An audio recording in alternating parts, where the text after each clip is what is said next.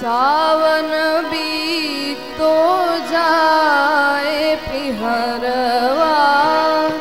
सावन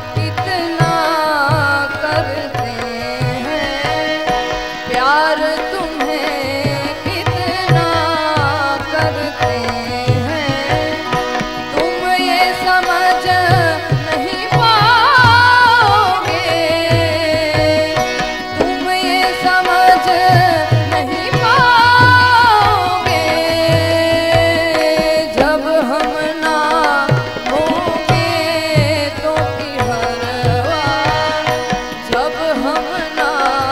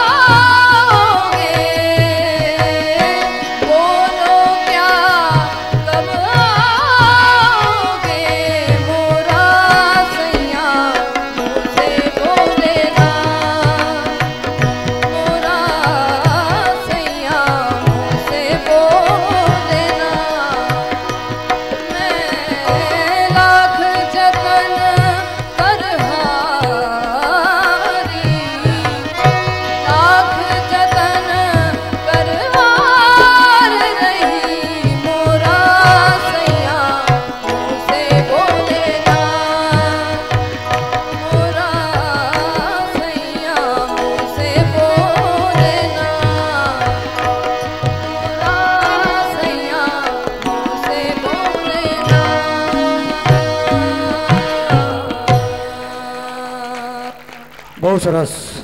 ખૂબ સુંદર પ્રસ્તુતિ વંદનાબેનની.